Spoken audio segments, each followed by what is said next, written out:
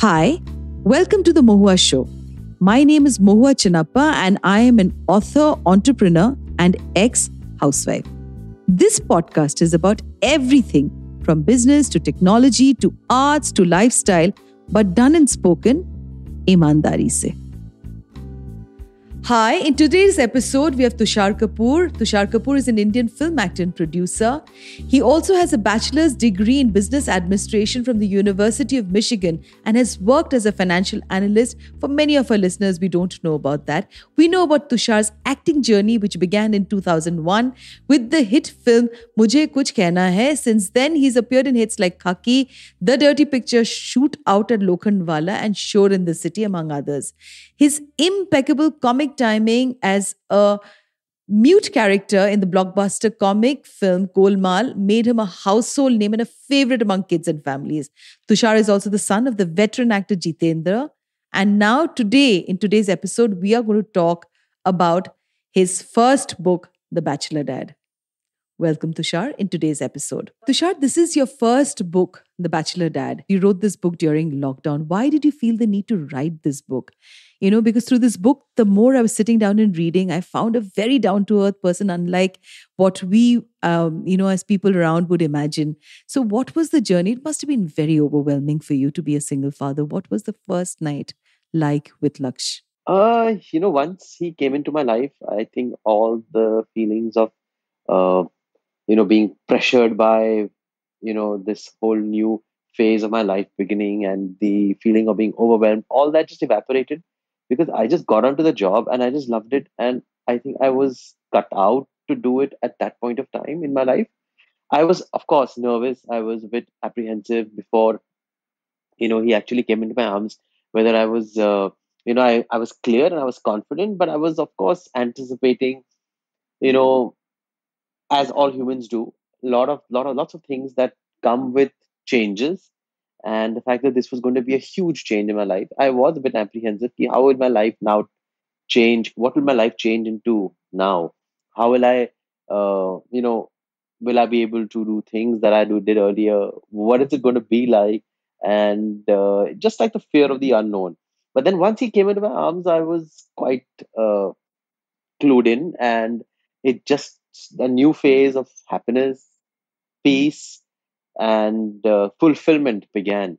As far as the book is concerned, I would call it like my second child. So, just like my first child, my son, even when I decided to write a book, the fact that I had I had made up my mind and I was going to and had actually signed signed up with Penguin, one of the biggest publishers, was exciting. But again, I felt a bit apprehensive as to whether I'll be able to do it, and how much work will it require will i get the time and uh, yes i wasn't really keen on doing it initially but my friends uh, encouraged me. And by the time i spoke to a lot of people by the end of 2019 i had made up my mind that i want to write a book. And mystically i got an offer at the same time. So it all worked out in that sense as far as the timing is concerned. But yeah getting to really write it was a bit difficult to start with and then I got used to that also. Just like I got how I got used to being a single father, I got used to that be doing doing that also single handedly because I wrote the book myself. In fact, so I think it's my Buddhist practice also that has come very very handy in this whole thing. That has uh, given me the wisdom, has given me the strength and the enlightenment to write this book on my own single handedly. Though I might be sounding boastful right now, but it would be important to state it. But uh, yeah, the lockdown was just like a coincidence. It was not something that I planned uh, I didn't plan to write the book because there was a lockdown. The lockdown just happened, and then again it worked out in a way because uh, I got stuff to write about in the book which pertain to the lockdown, and that was the last two chapters. So I think it's all. I think uh, there are things that we do in our lives which are new for us, which we don't really plan very very far back in time but they kind of unfold in a way as if it was destined for us to happen. So my son is one of those things, and my second child is this book. That's how I'd like to describe it. So, Tusshar, I mean, I completely relate to you because I also got down to writing my first debut book during lockdown. You know, having career in advertising and then giving it giving it all up, and my son went off to London to study. So I completely understand about uh, you know being um, an author and putting things together because you know you feel the minute you uh, you know put your experiences out there you know on the paper you know on your ipad uh, that, that i used to write on. So i just wanted to ask you a little bit more about the emotions and things that that was like a recollection that would have entered your mind all at once and other times when you experienced a complete dearth of thoughts. How did you deal with that you know? So walk our listeners you know through your journey of writing. I'm sure you must have been nervous. A lot of people today are opting for different sort of families you know? So there are single fathers there are single mothers and they don't want to go through the entire rigmarole of uh, you know of marriage and uh, but they want to become parents right? So Tell us about those nervous moments when you were putting the book together. Uh, yeah, so I think uh, what was uh, a challenge initially was planning the book in the sense that how am I going to plan my time? So, because I was a bit overwhelmed, I made up my mind that I'm going to write for an hour or two every other day so that I don't really feel like I'm bogged down by it. So, that was a good thing to do to begin with because I had a day off from writing. Even though I was enjoying it, I didn't want to feel like I'm doing something you know something terribly new and too much pressure and i'm like being forced to do something by my own decision. So i wanted to feel free. So i said i'll do it every other day. And gradually i started liking it. So i increased the frequency. I then started writing. My first chapter took a month which is a long time. And then thereafter i started writing every night. I allocated two hours or one hour at the end of the day. So i don't feel like the book is coming in the way of my day's work. And in fact I, we weren't going out at that time, but we were at home and we were doing so many things. I was working from home. I was parenting from home. I was working out at home. So it, it was uh, it was a very very busy time. So I allocated the night time for my book, which made it feel a little less cumbersome initially. And as I got more and more used to it, I started increasing the frequency. And by the time uh, eight ten months were over, I was writing whenever I was free. So I was like now wanting to finish this book and I was enjoying it. And I also followed a step by step procedure. I used to make notes first so that I can really pen down my thoughts and collect my thoughts. And uh, then after that, I used to formulate and structure all the notes that I made, all my thoughts in a, in the correct manner, in in the sense like kind of edited it to really make it like a proper copy. And uh, thereafter, I used to check it again, read it again, and go stage by stage. So I used to like pen my thoughts first, and then I used to rewrite it. And uh, you won't believe it, but I really never had a dearth of thoughts. I don't know what that is magic. That's pure God's hand at play. But I think I I can confidently say that I always had the right sequence of events in my mind about a particular chapter of my life as far as my single fatherhood is concerned somehow I think it was it was uh, God's hand, as I said earlier, also because everything just came, and I think the biggest fear I had was that I might I should not miss out on anything in this book because it's so personal an account, and I'm writing it myself, so it shouldn't be like okay, I missed out on some important points.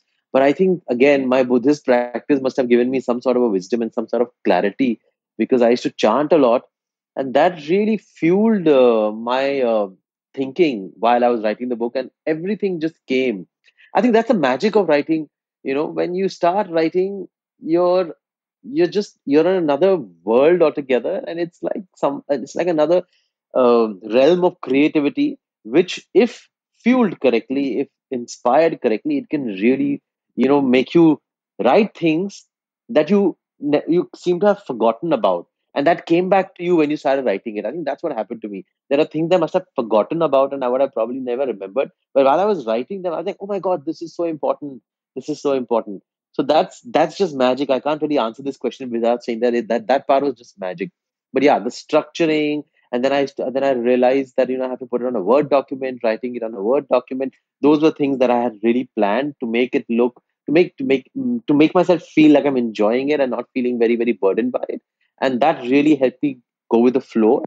So the structuring of the book uh, as far as you know how frequently i wrote it initially and then gradually increasing the frequency of writing it planning my time and uh, then you know writing it all in a word document before i sent it to penguin all that was probably I, something that i planned. But as far as the fact that you can't really plan is the magic of thoughts appearing in your mind which you have probably already forgotten and you never th- think that they would come back to you but they came back to me at the right time when i was writing the book and they pertained to the material that was you know being dealt with in the particular chapter.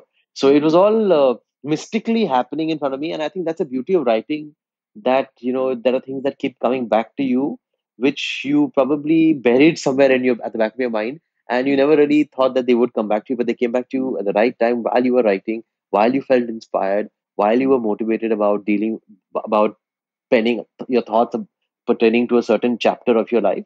And that happened with me also. So that's just magical. I can't really answer it as to what was it that really went into came into play when i was trying to recollect on my thoughts. That was just there was just pure magic. And i don't think i missed out on any real important details, which is what the beauty about writing this book was all about. So, Tusshar, you know what? I was sitting down in the cafe and I really, uh, you know, was smiling uh, when I was reading about how you got angry when your entire room was turned upside down, you know, for uh, Vastu, hoping that, uh, you know, your mother wanted you to get married. You also went and met a girl, but you were very sure that there would be no connect at all, okay?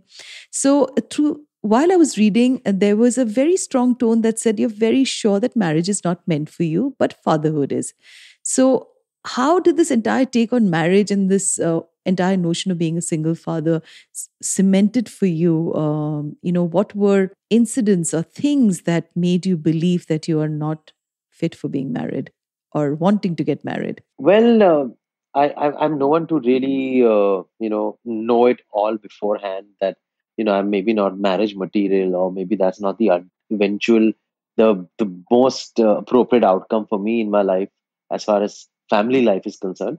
I was never really that sure. I was giving it, um, you know, I was taking it casually as I've written in the book also, and I was going with the flow. And just like my career somehow, you know, took several twists and turns and really found its true calling. I thought marriage or my family beginning would also be happening in that manner. Something good would happen, some clarity would happen. But then by the time I was in my mid 30s, as I've written in the book, I think I started realizing that I can't wait longer to be I have to plan something for my family life. I can't wait longer for destiny to really uh, come into play and you know I'll find the right match or the right life partner. I can't really procrastinate so much. I need to do something because my parents are going to growing old. I'm growing older. I'm in my mid thirties, late thirties, going to be in my late thirties, and you have to be energetic for your child. So I think that's when I started actively thinking about maybe single parenthood is the uh, right option for me because I was talked. Some people really enlightened me about it, and they also said that you know there are fertility centers in the U.S. where you can actually start a family of your own, biological, uh, become a biological father to someone without really getting married, and it's legal, etc. Et so I was just thinking of those lines. I was scared to really do something so, uh, you know, radically different to what we expect us to do in a society in India, in Indian society especially. So those thoughts were scary, but so I had not really made up my mind there also. And then gradually, how it unfolded as far as you know, my taking that decision and taking that big step is concerned, that is about uh, that. That's something that you'll have to read in the book because I can't. Then the whole, you know, the fun of really reading would not be there. But yeah, I did go with my go with the flow initially, and I was just like taking life as it comes. And then I decided to think more actively and then gradually i think you you kind of manifest what you really ought to be doing. I, I, believe in that. You know when you when you haven't really made up your mind but somewhere deep down you know that you've got to be going in certain directions it all starts manifesting itself on its own. I think we create our environment which is which is what uh, happened with me also. So there was no real uh, i won't be able to say that okay i realized that marriage is not my uh, cup of tea and I, I was sure i don't think that confidence really ever came uh, and i haven't really spoken spoken about it in that manner too in the book. That you know i i realize that i know that i'm not married. I always said that marriage is possibly an, an option never say never. And it's a great institution. I believe in it because it's worked for millions and billions of people. But maybe i've always said maybe that's not what i was cut out to do. And uh, which is why uh, I, I saw myself trying to uh, take my take, take my take i was saw myself trying out different things at least trying to think about different things and then something really drastically different worked out for me so it's really enormous, you know. I mean, uh, talking to you, it's enormous the decision that you took. I mean, there must have been instances that, you know, where uh, you might have to take decisions, you know, about little, little things that happen around you being a father. So, any one incident that you would like to share, because there'll be a lot of single fathers who'd be interested in hearing how is it, you know, sometimes when a child doesn't find a sock, they generally go to the mother, okay? And uh, here is a father who's a sole caretaker. So, I'm sure in school when you've gone and you've gone in for parent teacher meetings and, you know, because it's always the number of single women more uh, versus men who are opting for parenthood. But of course, things are changing now in the traditional concept of a perfect family. Narrate to us any incident that you think any of our listeners would really benefit as to how you went into those nitty gritties because you were also raised, uh, you know, with a mother and a father in, you know, in a, the way the society would view as a regular family life. So, some uh, fun inst- instances or incidents with Laksh, uh, we would love our listeners to know. Well, in fact, today itself was his graduation from the early years of his school, and I went, just came back from his ceremony, which is why I scheduled our podcast for eleven thirty because I just came back home at eleven. Uh, I uh, scheduled for eleven because I came back home at ten thirty a.m. Sorry, yeah. So uh, what's interesting is that I've just done it myself. I've been to every parent teacher meeting. I've been to every graduation ceremony. I've been I've done all lots of pickups and drops, and uh, I just confidently I can confidently say that he hasn't indicated to me yet uh, any kind of you know feeling of confusion or you know even wonder or any kind of doubt or any kind of uh, incompleteness in that regard which is something that i can really positively and confidently say. Maybe it's just because i've been there from the very beginning and he understands and he knows that there are all kinds of families. I've read books to him. And uh, uh, if if you know if you feel complete you feel complete. What you what your family appears to be is not really that important according to me i think how you feel inside how you feel uh, how nurtured you feel how how much how much of a sense of belonging do you have to a certain family? How wanted you feel? How unconditionally loved you feel? I think that is what makes you feel complete and that what that's what a complete family should be about.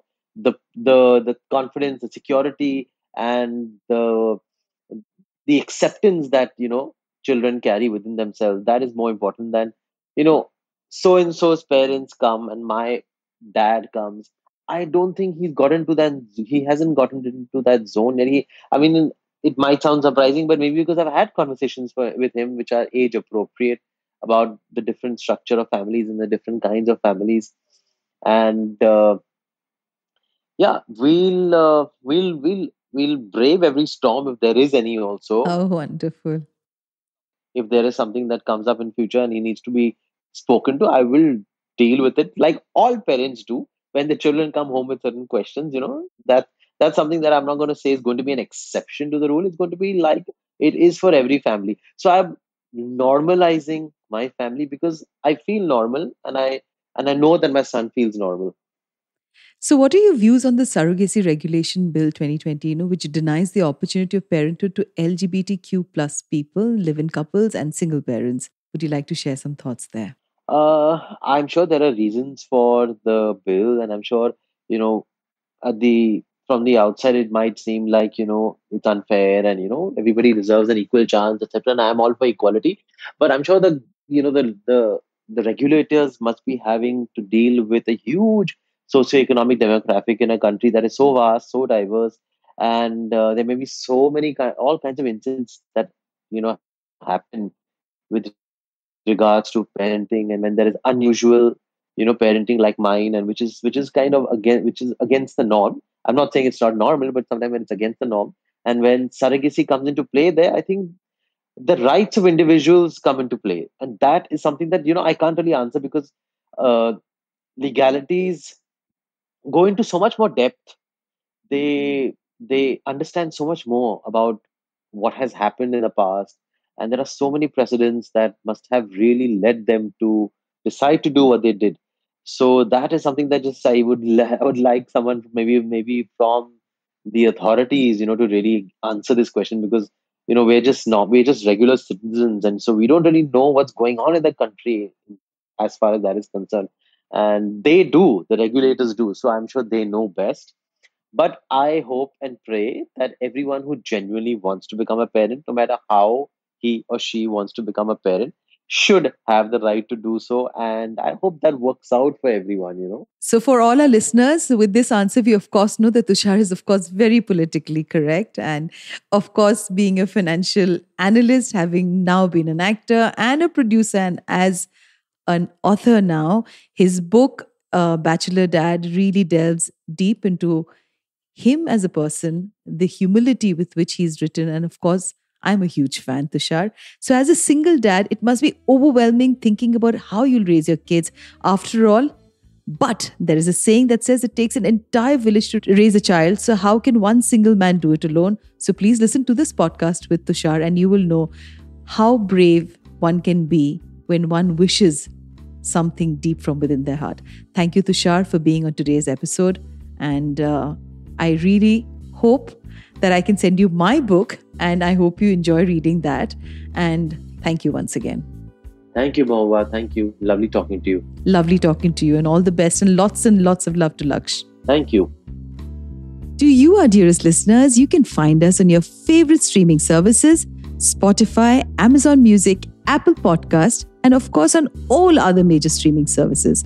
With loads of love, we are The Mohua Show, where we talk imandari se.